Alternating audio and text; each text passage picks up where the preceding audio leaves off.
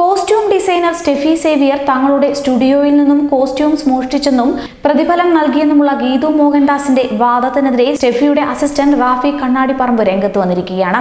കഴിഞ്ഞ ദിവസം ഗീതു മോഹൻദാസ് പോസ്റ്റിൽ സൂചിപ്പിച്ച ആ കോസ്റ്റ്യൂം ഡിസൈനറുടെ അസിസ്റ്റന്റ് താനാണെന്നും സംവിധായക ആവശ്യപ്പെട്ട പ്രകാരമാണ് അവരുടെ സാന്നിധ്യത്തിൽ കോസ്റ്റ്യൂം കളക്ട് ചെയ്തതെന്നും റാഫി വെളിപ്പെടുത്തി. മാത്രമല്ല ഇത് ചെയ്യാൻ ആവശ്യപ്പെട്ടതിന്റെ രേഖ വോയിസ് നോട്ടായി അദ്ദേഹം നൽകുന്നുണ്ട്. വോയിസ് ക്ലിപ്പ് ഇങ്ങനെയാണ്. റാഫി അതെ ഒന്ന് രണ്ട് കാര്യം. ഒന്ന് നമ്മൾ ഇന്ന് കോസ്റ്റ്യൂംസ് ഒക്കെ നോക്കി വെച്ചാണ് ക്വാണ്ടിറ്റി വരുന്നതെന്ന് അപ്പോ നമ്മുടെ ഇവിടുത്തെ ഒരു ഗസ്റ്റ് ഹൗസ് ഉണ്ട്. ഇപ്പൊ നമ്മൾ അവിടുന്ന് മാറി. നേരത്തെ ഗസ്റ്റ് ഹൗസിൽ നിന്ന് രാജീവിന്റെ വീട്ടിന്റെ അടുത്തേക്ക് ഒരു ചെറിയൊരു വീട്ടിലാണ് സാധനങ്ങളൊക്കെ വച്ചിരിക്കുന്നത്.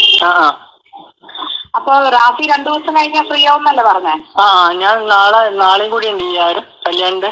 ആ. അപ്പൊ നാളെയും കൂടി കഴിഞ്ഞാൽ മറ്റന്നാളും ഫ്രീ ആവും. ആവുമ്പോ എന്നെ വിളിച്ചാൽ ഞാൻ അവിടെ താക്കോൽ കൊണ്ട് ആരെങ്കിലും അവിടെ ആ, ആദ്യം ഇങ്ങോട്ട് വരും. അപ്പൊ ഞാൻ കോസ്റ്റ്യൂംസ് ഞാൻ കാണിച്ചു തരാം. അല്ലെങ്കിൽ ആ കോസ്റ്റ്യൂംസ് ഞങ്ങൾ വാട്സാപ്പ് ചെയ്ത് തരാം. അടുത്ത് സംസാരിച്ചാൽ മതി. ഞങ്ങൾ ഫോട്ടോസ് എടുക്കുന്ന ആ കോസ്റ്റ്യൂം ആ കണ്ടിന്യൂറ്റി കോസ്റ്റ്യൂംസിന്റെ ആ. ഇതിനെക്കുറിച്ചാണ് നിങ്ങളുടെ സ്റ്റുഡിയോയിൽ നിന്ന് നിങ്ങളുടെ അറിവില്ലാതെ കോസ്റ്റ്യൂംസ് എടുത്തുകൊണ്ട് പോയതായി നിങ്ങൾ പറയുന്നതെന്നും റാഫി പറയുന്നു. വോയിസ് നോട്ടിനൊപ്പം ഗീതു മോഹൻദാസിന്റെ മറുപടിയും റാഫി നൽകുന്നുണ്ട്. റാഫിയുടെ വാക്കുകൾ ഇങ്ങനെ. ഞാൻ നിങ്ങളുടെ കോസ്റ്റ്യൂംസ് മോഷ്ടിച്ചെന്നാണ് നിങ്ങളുടെ ആരോപണം. മാഡം നിങ്ങളെപ്പോലെ വലിയ സിനിമാ ബാക്ക്ഗ്രൗണ്ട് ഒന്നും എനിക്കില്ലെങ്കിലും ഞാനത് ചെയ്യില്ല. ചെയ്ത ജോലിയുടെ കൂലി വാങ്ങി ജീവിതം കഴിയുന്നവനാണ് ഞാൻ. അതുകൊണ്ട് ദയവ് ചെയ്ത് മാഡം ആ പ്രസ്താവന പിൻവലിക്കണം. മാഡം പറഞ്ഞ പ്രകാരം വാഷിങ്ങിനും അയണിങ്ങിനുമായി ഞങ്ങളുടെ കൈവശം നിങ്ങൾ തന്നുവിട്ട കോസ്റ്റ്യൂം പിന്നീട് തുടർന്നുള്ള ജോലിയിൽ നിന്ന് ഞങ്ങളെ എല്ലാം മാറ്റി നിർത്തിയപ്പോൾ നിങ്ങളുടെ ടീമിന്റെ കയ്യിൽ തിരിച്ചേൽപ്പിച്ചെന്നും ഞാൻ തന്നെയാണ്. നിങ്ങളുടെ പോസ്റ്റിൽ പറഞ്ഞ പോലെ കൂലിയുടെ കാര്യത്തിൽ ഒരു വിലപേശലും നടന്നിട്ടില്ല. നിങ്ങളുടെ ഷൂട്ടിങ്ങും കഴി റിപ്പീറ്റ് നിങ്ങളുടെ ഷൂട്ടിങ്ങും കഴിഞ്ഞ് എത്രയോ നാളുകൾ കഴിഞ്ഞാണ് എന്റെ അസിസ്റ്റന്റ് ബാറ്റ പോലും കിട്ടിയത്.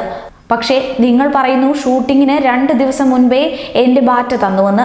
എങ്കിൽ അതിന്റെ തെളിവുകൾ നിങ്ങളാണ് നൽകേണ്ടത്. സിനിമ ഇറങ്ങി ഇത്ര നാൾ കഴിഞ്ഞിട്ടും എന്റെ ഡിസൈനറിനുള്ള കൂലിയോ ഞങ്ങൾ താമസിച്ച റൂമിന്റെ വാടക പോലുമോ നിങ്ങൾ നൽകിയിട്ടില്ല. ചെയ്ത ജോലിയുടെ കൂലിക്ക് വേണ്ടിയാണ് മാഡം ഇതൊക്കെ വീണ്ടും ഓർമ്മിപ്പിക്കുന്നത്.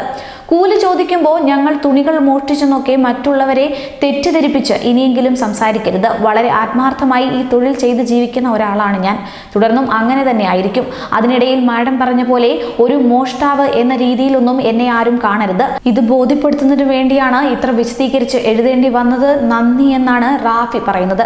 എന്തായാലും റാഫിയുടെ ഈ പോസ്റ്റും ഓഡിയോയുമാണ് ഇപ്പോൾ സോഷ്യൽ മീഡിയയിൽ വൈറലാകുന്നത് ഗീതു മോഹൻദാസ് കഴിഞ്ഞ ദിവസങ്ങളിൽ നടത്തിയ പ്രസ്താവനകളെല്ലാം തെറ്റാണെന്ന് തെളിയിക്കുന്നതാണ് ഇപ്പോൾ റാഫി പുറത്തുവിട്ട ഈ ഓഡിയോ എന്തായാലും ഇത് ഗീതു മോഹൻദാസിന്റെ മറ്റൊരു മുഖം മലയാളികൾക്ക് മുമ്പിൽ വലിച്ചു കീറുകയാണ് You are watching You are watching You're watching me and you're watching me on, on metromatney.com. on metromatney.com. Metromatney.com. Metromatney.com. Subscribe for more videos. subscribe for more videos Subscribe here for more videos. subscribe now thank you